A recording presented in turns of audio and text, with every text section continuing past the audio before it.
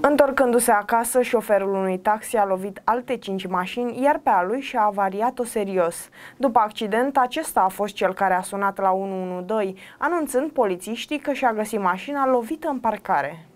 A fost atât de beat încât după ce a lovit 5 mașini a sunat la 112 și a reclamat că cineva l-a bușit. Potrivit site-ului Știri Neamț, veniți la fața locului, anchetatorii au stabilit modul în care s-au petrecut evenimentele și faptul că acel vinovat de producerea accidentului este tocmai cel care a alertat poliția, un bărbat de 60 de ani din Piatra Neamț. Doar că atunci când au venit polițiștii, șoferul vinovat era plecat în casă. Martorii susțin că bărbatul abia se ținea pe picioare, cel mai probabil acesta fiind și motivul pentru care a părăsit imediat zona. În astfel de situații, în cazul unui accident soldat doar cu pagube materiale, șoferul are la dispoziție 24 de ore să se prezinte la poliție. Astfel, dimineața următoare, crezând că nu mai apare nimic în etilotest, s-a prezentat la poliție, unde, testat fiind, a avut o concentrație de peste 0,20 mg per alcool pur în aerul expirat. Polițiștii l-au sancționat cu amendă în valoare de 2900 de lei plus 580 de lei, 3 puncte de penalizare și reținerea permisului pentru 90 de zile.